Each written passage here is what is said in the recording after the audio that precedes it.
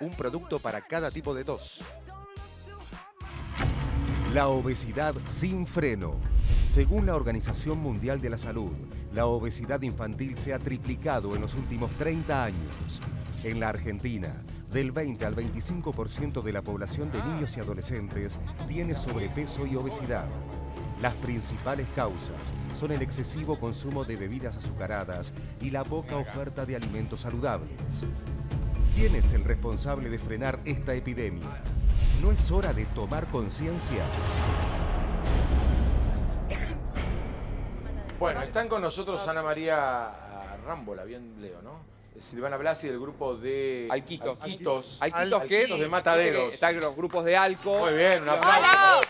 Bienvenido. Está Ama- Amanda, Alan, Adriana y Diego, son los chicos del grupo. Lola y Agustín, levanten la mano. ¿Quiénes son? Lola y Agustín. Lola, acá está. Bien, Lola. Agustín, acá está. ¿Estás Tienen bien, 10 Agustín? años ellos. ¿Eh? Tienen 10. Celina, acá está, 16. Bien. La clínica Cormillotti, ¿cómo están? ¿Cómo están? Bien. ¿Todo bien? ¿Están contentos? ¿Eh? Están haciendo el plan. ¿Cuántas veces vas? linda que es. Todos los miércoles. Todos los miércoles. ¿Vos podés ver? ¿Y vos? ¿Estás Desde contento? septiembre del año pasado. Hace casi un año. ¿Eh? Está bien, ¿Y ellos van con los fueron? ¿Qué los padres. puso alerta, mamás? ¿Qué, ponen en alerta para, para decidir que tu hijo vaya al Quito, por ejemplo? Bueno, yo como moderadora de los nenes y he sido mamá de niños también, eh, la alerta es eh, primero cuando un chico está mucho tiempo delante del televisor y no hace actividad física, cuando se alimenta muy mal, cuando come comida chatarra. Entonces se le va incorporando de pequeño buenos hábitos. Comer fruta, comer mucha verdura, comer proteínas, tomar dos litros de agua por día, moverse lo más que pueda.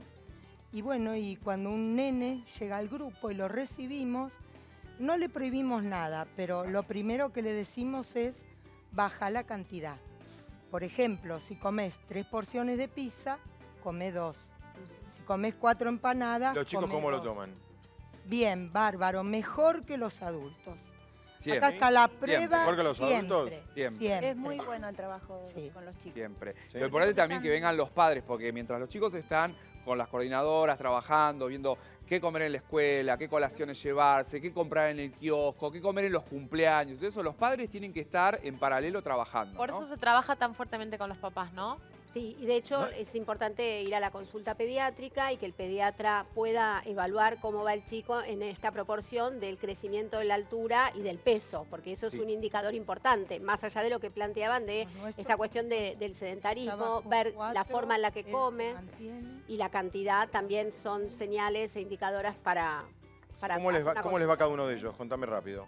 Bueno, ella nos contaba que muchos bajaron 4 kilos, 6 kilos, algunos se están manteniendo porque ellos van creciendo también, Fabián. Claro. Entonces, no es que tienen que bajar cantidad de kilos como los adultos porque sus huesos van creciendo a lo largo, entonces no tienen que perder tantos kilos. Entonces, vos, eh, ¿ellas cuántos bajaron? Ellos ¿Cuánto no son del, no sé, no son nuestros. Bueno, pero de ustedes están yendo al grupo. ¿Cuánto bajaron? Agus, Eh, tres, Tres kilos. bien. Ocho. 8. Bien. Seis, bueno, muy bien. Hay que bajar 8 Sí, kilos. hay que bajar. Claro. 10 años. Obvio que Con sí. 10 años. ¡Qué Agustín. bien! Yo quiero decir algo para que se entienda. Sí. Lo dimos vuelta al tema y esto es un homenaje.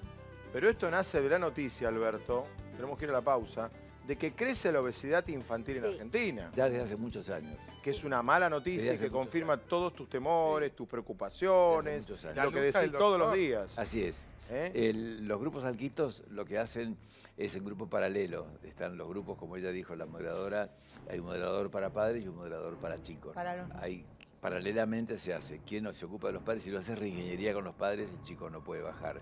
Y al mismo tiempo se trabaja con los chicos. ¿no? La idea era, frente a la mala noticia, quisimos dar la parte buena de la Claro. noticia, que es el esfuerzo y el trabajo que están haciendo los chicos. Claro. que acaban de contarlo, así que pido un aplauso para ellos. ¡Genial! Para, toda la gente de Argentina, para todos los que van a otros lugares también lo pueden lograr, porque también, o desde chico también se puede. ¿eh? Claro.